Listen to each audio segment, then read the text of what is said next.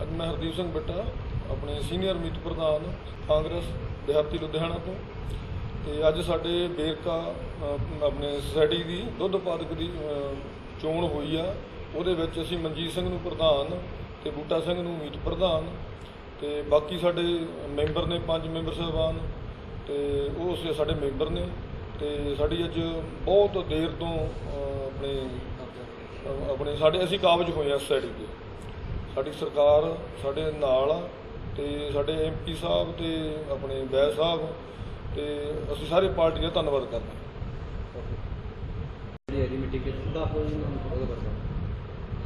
ਮੈਂ Sardar Gurjeet Singh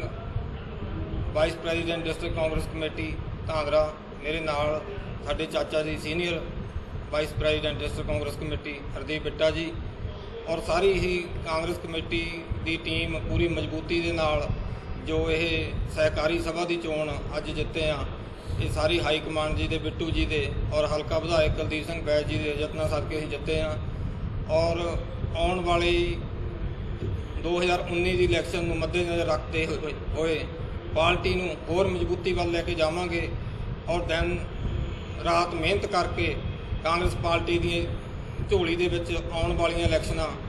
ਸਰਪੰਚੀ ਦੀਆਂ, block ਸੰਮਤੀ ਦੀਆਂ, ਜ਼ਿਲ੍ਹਾ ਪ੍ਰੀਸ਼ਦ ਦੀਆਂ ਇਲੈਕਸ਼ਨਾਂ,